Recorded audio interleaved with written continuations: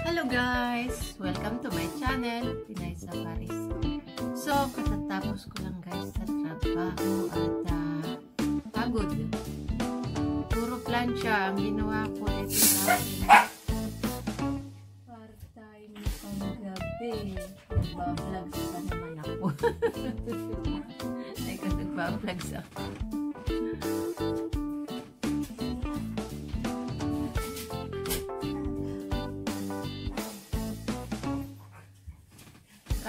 Ko lang din eh. Pagod. Trabaho kay Parachi. 2 hours din eh. Ano, 3 hours din eh. Puro plancha.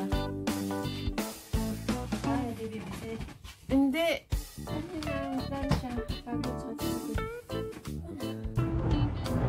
So guys, pauwi na lang ako at ah, hindi ko na ituloy yung vlogs ko doon sa bahay. Kasi nga dumating yung kapatid ko, eh, nakipagkwentuhan na lang siya. Tapos ayun, itutuloy ko na lang sa, ano, sa bahay. Kung si Jowawa hindi nanonood ng TV kasi hindi ko manood ng TV eh. Kasi nga yun, nagtrabaho ako ng 3 hours and a half sa isang part-time ko. At ah, wala sa ano yun eh, wala sa schedule yun eh. Biglaan na lang nagpaano, nagpatrabaho. Kaya medyo nasira yung iba kong schedule sa trabaho. Kaya yun, kasi pinapasukan ko lang naman yun sa gabi. Tapos ah, natambakan niya ata yung yung Pilipina ng plansyahin. Hindi niya ata makaya. Kaya pinapasok ako ng umaga. Kaya yun. Tapos halos sa halos ma wawala na yung part-time na yon kasi nga itong trabaho na to ibinigay ko sa nakakasulo yung ano yung araw. Binigay ko itong trabaho na to dito sa kaibigan kong na isa sa mga subscribers ko dito sa YT at uh, ayun. So hello guys narito na ako sa bahay at uh, ayun si Juwawa nanonood ng TV at uh, yun nga, akala ko 3 hours and half ako nakapagtrabaho kanina yung pala nag-start kasi ako ng 10 at natapos ako ng 30 tapos uh?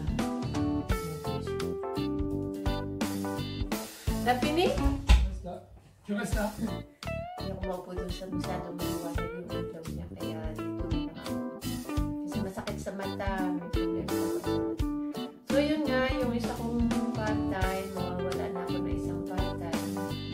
Gabi kong part-time yun.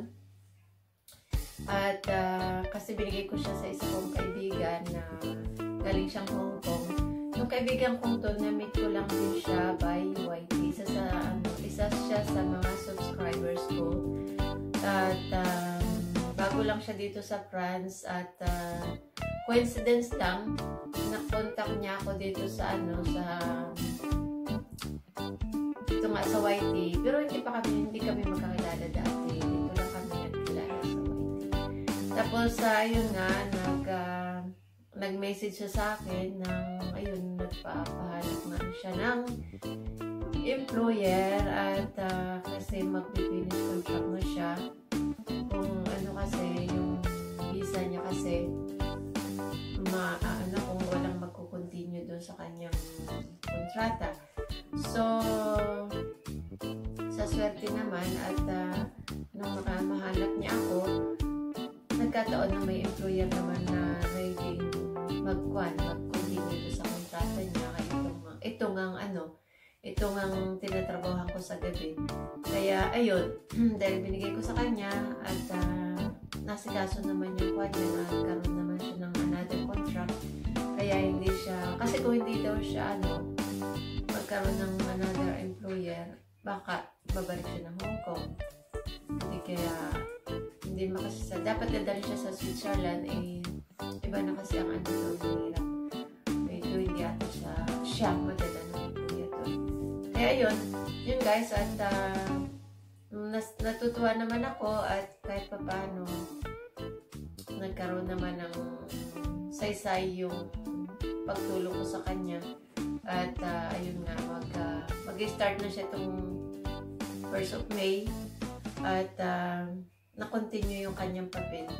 Magkakaroon siya ng um, working permit na ano, nalakad na namin. Tapos, ayun. At mag-start na siya ng uh, katapusan ng 1st of May pala. So, ayan. Kaya kahit pa paano guys, ang dito sa YT, may mga mabait ng tao, mga ano. Pero guys, uh, tinulungan ko ito kasi ano lang yon yung ibig ko sabihin, um, parang accidentally ba na na-contact niya ako na nagtanong siya sa akin kung pwede ko siyang tulungan. Nagkataon lang guys na may employer naman akong kilala na pwede ngang matulungan siya. Kaya kung halimbawa ano, wala naman akong ibang ano, wala naman ako talaga ibang magagawa sana kung wala akong kilala. Kaya ano lang yun, coincidence lang guys, hindi ako talaga yung taong maraming contact, wala akong masyadong contact. Kaya yung magtatanong at magpapatulong, magpapahanap na employer, wala akong ano guys, na wala akong, wala akong mga contact dito ng employers. Kasi full time ako at um, kukunti naman ang mga namimit ko mga mga ano mga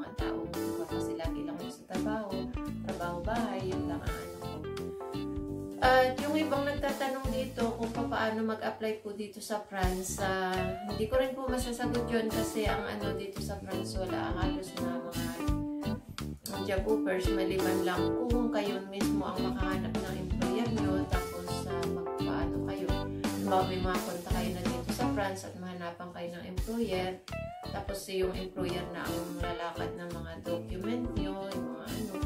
Pero kung halimbawa paano mag-apply po dito, walang ano, wala akong ano dyan, wala akong idea kung paano magpunta dito, mag-apply dito, kung ano. Yung iba, alam nyo naman, yung iba galing ng Saudi, sumasama sa employer pagdating dito,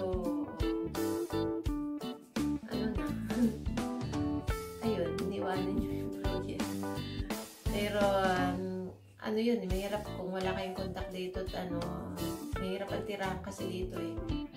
Sa mahal at uh, dahil parami na parami ang mga Pilipino dito sa France, minsan yung iba ayaw na tumulong, kaya mahirap. Kasi, hindi naman sa ano kasi, mahirap din naman kasing magpatira ng mga taong hindi rin kilala, pagkatapos minsan, um, minsan natulungan mo na, tapos uh, marami lang ako naririnig na gano'n.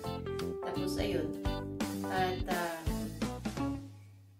at uh, kahit pa paano yung mga tao ko namang natutulungan, mababait naman at may ano. Dumatanaw naman sila ng utang na naman. So, at uh, ayun na pala, magpapatake ko din ako doon sa isa kong kaibigan din na nakilala ko rin sa YT. Bumalik uli sila. Last year, nandito sila. Nagbakasyon sila dito sa France. Tapos ngayon, parang nagtuturo Europe sila. Napadaan sila uli dito sa France. At may pasalubong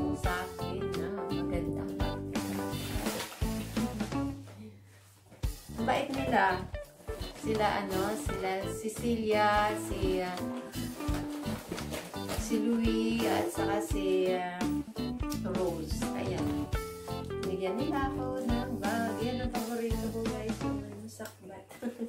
ang matawag doon. Ayan. Bigyan nila ako galing sa... Taga ano sila eh. Taga USA. Sa, sa California sila nagtatrabaho. Mga, mga ano sila, mga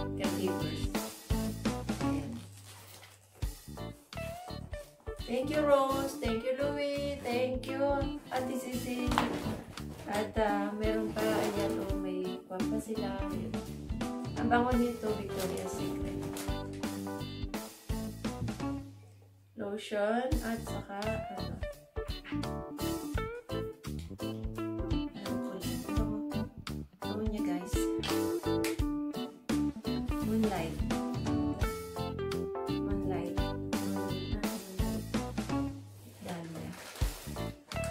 Tapos, mayroon pang ano, may Victoria's Secret talaga. Pakita ko pa ba? Kunti lang ah. Kasi ano na to, secret na to eh. Sa likuran na lang to, sa harapan. Dami. Dami nilang binigay sa akin. Thank you ah, thank you. Thank you sa inyo. Nagpun ang ano nila, nag-travel sila, ga- nagpunta sila ng ng Lourdes, tapos nagpunta sila ng Bel- Belgium, tapos nagpunta pa sila ng ano ba yun? Pinutan Ngayon nasa Spain sila, yun yata sila ganun. Tapos dito nag-birthday si Rose sa Eiffel Tower. Doon sila kumain. Ano lang eh, saglit lang, one night lang sila dito, tapos umalis na ulit. Kaya thank you, thank you, at uh, enjoy kayo sa inyong bakasyon, Rose. Saka si Cynthia nga pala, bagong meet ko rin siya, kasama nila Rose. Ayan guys, sa mga nakilala ko sa YT, at uh, may isa pa akong nakilala din sa YT, nung malis na si, ano naman, si Gemma, taga, ano naman yun, taga Egypt. Ayan. Kaya, eh, yung iba naman, meron din akong kaibigan dito, malapit lang dito sa, ano, sa tinitirhan ko dito sa Carrier. Ah, si Kwa naman siya, anong pangalan mo na nga? Si Ibiza. An, An Ibiza. An Ibiza nga ba siya? Hindi ko pa rin namimit, pero malapit lang dito. Ilang, kapitbahay lang halos. Eh, wala pa akong time eh. Nangako akong bibigyan ko ng bagoong hanggang ano, may bagoong niya sa fridge. Tapos yung iba pang Pilipino, mga nag-asawa ng French, ng mga bagong dating din, na mga nakilala ko rin sila. Hindi ko pa rin sila namimit, pero coming soon na. Kasi wala pa nga akong time din. Puro trabaho. Trabaho ng trabaho, guys. Kaya, ayun. Kaya, mga, masarap din na mag-YT kasi marami kang makikilala mga kaibigan. Kaya lang minsan talaga, guys, wala akong time dahil sa dami ko ng trabaho. Hindi ako makapag-vlogs uh, minsan napapabayaan ko nga din yung pag-vlogs ko. Minsan yung si Whitey na sulat na eh. Nag-i-email si Whitey. Eh, kaya hindi pa nga siyang binigay. Bigay ko na lang to sa pamangkin. Kasi hindi ako mahilig sa candy. Hindi ako mahilig sa matatamis.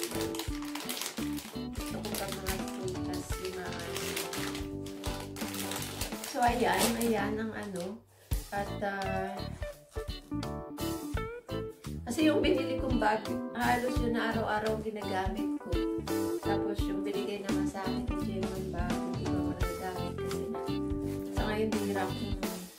lumabas. Ibig ko sabihin, makipag-party. Kaya mga gusto kong bag mga pang araw-araw ba mga ganito. Kaya- ako gusto ito kasi pag ako naka-coat na makapal, kasya siya hindi siya mahirap at saka lagi akong takbo ng takbo sa mga ano ba subway ganyan eh pag yung nakalagay sa kamay ko minsan baka makalimutan ko sa subway may baba ko at isang ganito hindi ko siya maano makakalimutan tsaka yung pagdukot ko ng ganyan ng mga ano ko yung pasko bang pang lagi pang ano sa transportation madali ko makuha tapos may sara naman siya walang manudukot. Dito lang yung ano yung pass na sa ano yung aking pass sa subway sa transport. So yun guys at um, mababawasan ng income. Pero at least na, natutuwa naman ako at uh, nakatulong ako sa tao na nangailangan ng tulong. At uh, kahit pa paano magiging stable siya dito sa France at uh, legal ang kanyang trabaho, ang kanyang pag-stay. Ayun. So guys, maraming salamat. Maraming salamat sa inyo lahat. At thank you ulit at belated happy birthday ulit sa Rose. Happy birthday kay Gemma.